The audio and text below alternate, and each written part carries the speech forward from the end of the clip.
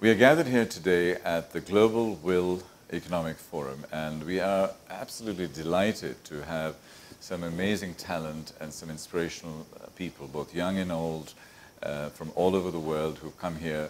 And they are game changers, they are special, they're creating special things, they are young entrepreneurs, all of them in one place. And the energy in this place is just absolutely explosive. And one of the person who's igniting this place is Thea.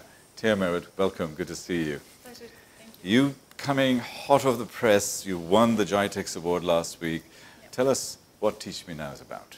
So Teach Me Now is a global marketplace for learning where we're connecting teachers and students all over the world, taking live personalized classes through our platform. So we're tapping into the sharing economy, creating jobs, but making learning accessible. So you're the Uber and Careem of learning, of, of teaching? Exactly. okay. Yes. Is it learning or is it education? Which one is it? Learning. I think education is the traditional world that we uh, that we associate with, yeah. but it, it's truly learning. So whatever it is, from academic study to mentorship, professional skills, or if you just want to improve your Pokemon Go skills, whatever it is that you want to learn, you can find it on teachmenow.com. I'm a little traditional, as I am a little bit older than you are, um, in terms of being able to touch and connect with my teacher, with my mentor, with person who will inspire me and, and guide me and nurture me. How do you fill that gap? So what we're doing is we're using technology as a facilitator, not a replacement. So we are still creating jobs for the traditional teachers and making that kind of facilitation accessible. So the person is actually live on the other side. It's not a pre-recorded video. So in the online learning world, uh, what we associate with is something called MOOCs, or Massively Open Online Courses. These pre-recorded videos have a 90% dropout rate. And that's truly to what you mentioned earlier, it's that personalized connection. So what we're doing, which is different, is that all of our classes are live. So there's a real person on the other side and you have that personalized relationship. Similar to a Skype call or a phone call, there's someone there. Um, and that's what makes our classes different. So we're taking that offline experience just making it accessible from a global perspective online. Just looking at it more technically for a moment, and then we'll get into the, the, the specifics. Um, from a cognitive learning aspect, um, have you done any kind of scientific studies or research that you might be following in terms of the structure that you are putting out there?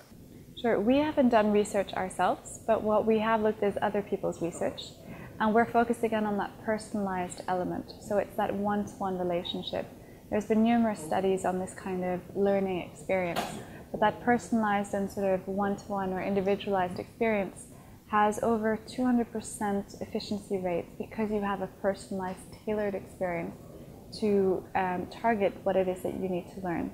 So that's what we're making accessible because having that one to one relationship offline is usually a very expensive one. But what we're tapping into is not just professional teachers, but also recent graduates, for example, who have a lot of skills and knowledge. And we're democratizing learning because you can get access to an expert, a recent graduate from MIT, for example, for $20 an hour compared to a traditional institution. So the fact that you can still have that personalized learning experience, but at a much more affordable rate, is what makes us different at teachmenow.com.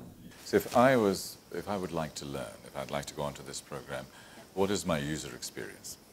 So you'll go to teachmenow.com and you search for what it is that you want to learn, be it a language, physics, math, or professional skills. And you can choose through this variety of experts that exist. We have a global network of teachers, tutors, mentors, and experts. Uh, and based on your budget and your requirements, you can interview them. You'll take a live class once you agree on the time and date. And it all happens through any device because it's browser based. So you have a live audio video chat. You also have interactive documents. So whatever I type, you see. Whatever you type, I see. And that works on Word, PowerPoint, and Excel. And we also have interactive whiteboards. And we save all that work too. So it all happens simply on any device. And it's very much a click to start button. And you connect to an expert on the other side. And how much do I pay for it? That's up to you. Okay. So as a teacher, you set your own price and we have people donating their time, but we also have experts for things like CFA who charge $100 an hour. So the range is really there. Uh, but the average hourly rate is around $30, and you just pay per minute. So you pay as you go. So If you want to do a quick 30 minute catch up, you only pay for half an hour.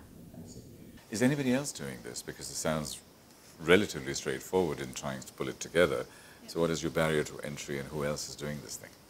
I think our main competition is mostly the offline element. People are used to the offline personalized experience. Um, there are some who are getting into the online space, but they're mostly traditional institutes, just creating an online experience.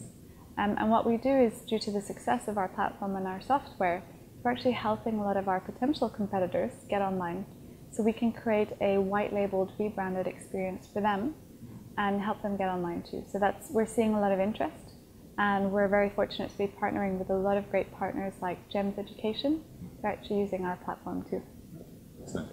Now, moving forward, what are your plans? Are you, and like you, obviously you mentioned one of them, which is white labeling, um, perhaps franchising, um, and so, and potentially localizing, um, because uh, in Africa you'll have giraffes and zebras. In India you'll have, I don't know, um, donkeys and cows, uh, because people see things online learning in a different context.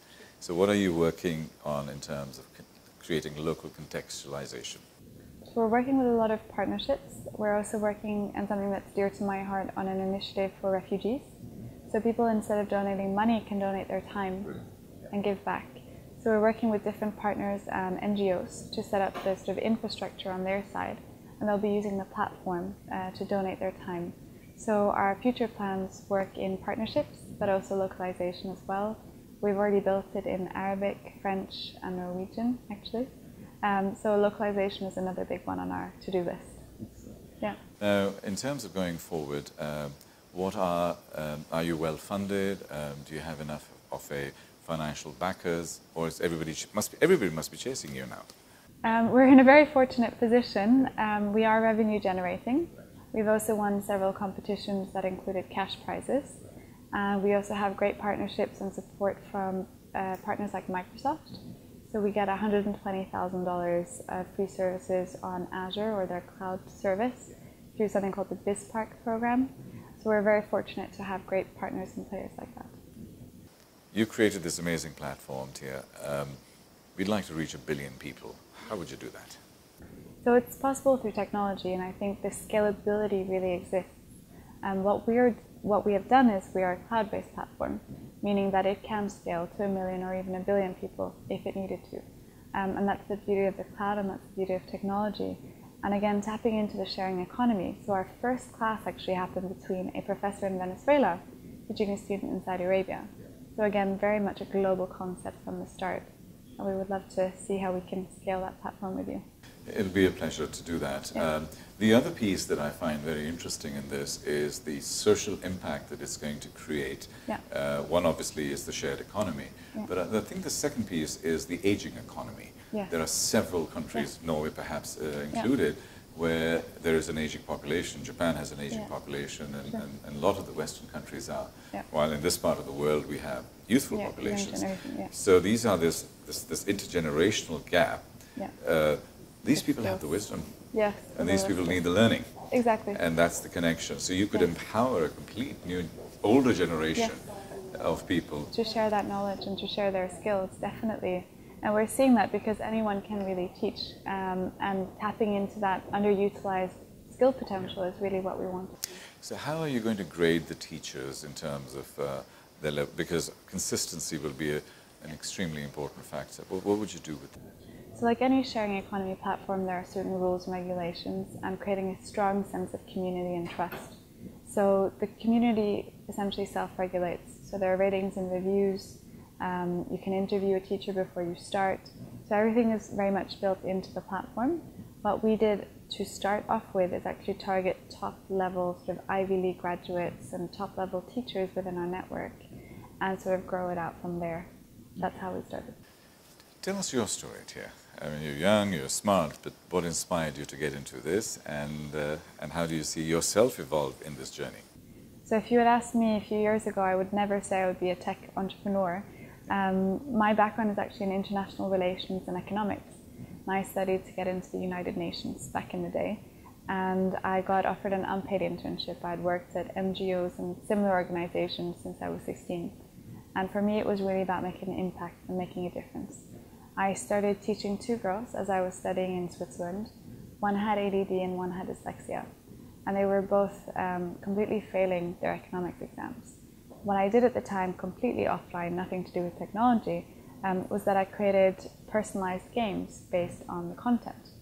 And through that game uh, sort of experience, they both got way above average results. And that was in the span of two months. I was not a certified teacher and I didn't have any experience in sort of learning disabilities, but I could really help these girls. And you know, their mothers were crying. Uh, one went on to study economics. So for me, that was my aha moment where I saw, okay, it's through, it's really through education where you see a difference and an immediate difference. And I went on to study, um, sort of took a year off and self-studied everything I could about apps. I created one of the first game-based apps for high school students in 2011 and this was when apps were still very, very new and sort of up and coming before Angry Birds and all of that was successful. And through that app, I became sort of known as this expert for economics. and I had Skype, I had PayPal, I had email, I had a million things to coordinate my classes. Yeah. But I was looking for this sort of global learning platform that I sort of went on to create, looking for an eBay or an Airbnb model where I, as an expert, could set my own hourly rates, have everything in one simple space, and really leverage um, that sort of experience that all the other industries were seeing. And as a young person, um, getting back to that, my first app was at 21. I'm 26 now. And getting that opportunity that I really wanted in the United Nations wasn't available to me due to my age and my lack of experience. And sort of it's come full circle because now I'm, I'm making the impact and the difference that I want to see in the world, but on my own terms. Brilliant. Now, on the one hand, you have uh, content, and in your case, you're providing content through teachers and a video live-based environment. And the other hand is technology, and you're merging this thing together. This is a new revolution, isn't it? Yes. Um, so, as a revolutionary, as an activist, uh, how can the people help you? There are 500 women here. There are 90 uh, speakers here. How can they, at the WIL Forum, help to impact the world? through your through your lens, through your filter? That's a great question. Um, really encourage everyone to go check out teachmenow.com. If you have something to share, even if it's for free, sign up. You can share your knowledge and sort of give back to the community as well. We're actively looking for partnerships, as I mentioned before, too, for corporate training as well. So if there's anyone looking for a partnership, please do get in touch at teachmenow.com. You were on a panel earlier on uh, during this uh, forum. Uh, tell us a little bit about that platform, uh, that, uh, that panel that you had, and what were your sort of feelings and thoughts as you came out of that? It was a very interesting debate. We all had different sort of backgrounds and, and standpoints as well on the education space. Um, so it's great to see a mix of both the academic side and the technology side and having a platform where we can have that kind of open discussion. Were you being beaten up by the academics and saying you're just not qualified for this and who the hell are you to be able to talk about education and learning and we are the PhDs and we're going to be handling this? Uh, what do you do to that? Yeah, I've, I've had that before. Fortunately, fortunately not today. Um, although everyone was a doctor on the panel. Okay. Um, but to that, I say that we're here to facilitate. We're here to help. We're not here to replace teaching and the traditional institution. Um, that's often the question that I get asked. So um, again, we are a facilitator. We're here to help. We're on the teacher's side and the student side. Um, and again, we're just a platform to make things more efficient. At the end of the day, technology is disrupting all other industries yeah. from transport, hotels, logistics. Yeah. Um, and again, we haven't really seen that change in the education space yeah. yet. Yes. And we hope to make that change. Uh, you know that our company is called MAD, and MAD is Make a Difference. Um, and I can see that you are really mad. About mad, mad about making a difference. Yeah. And you're also mad because you are on the extremities of change because everybody else is in the middle and all great innovators were considered mad in their lifetime. So we'll give you the mad star. Oh, but uh, as, a, as a statement uh, for us, uh, sure. tell us uh, how you are making a difference and how you wish to be mad in the future. So we're mad about making a difference, first of all, uh, by making education and learning accessible through technology, but also creating jobs for people around the world. And that's how we hope and aim to make a difference. Um, and the final question, as far as uh, the forum is concerned, uh, as I said, there are all of these wonderful, talented uh, high quality people here. What is your one request to them and to what is your one piece of advice to them as they walk out tomorrow to go out there to try and make that difference? That's a very good question. I think my main piece of advice is just to do it. As cheesy as it sounds, Yeah. just start. I think as women as well, we doubt ourselves very often. Um, also, in different ages, we, we there's continuous doubt. But just do it. Just get started. You don't really know what what's happening until you really start. And I think that's the most important thing. Is also if you want to see change, be a part of that change. And for that, you have to do it. Um, so just get started. Just get started. Thea, you have an amazing aura and energy and a great inspiration to all of us, young and old. Thank you for being here today. Thank you for Pleasure all the be here. best.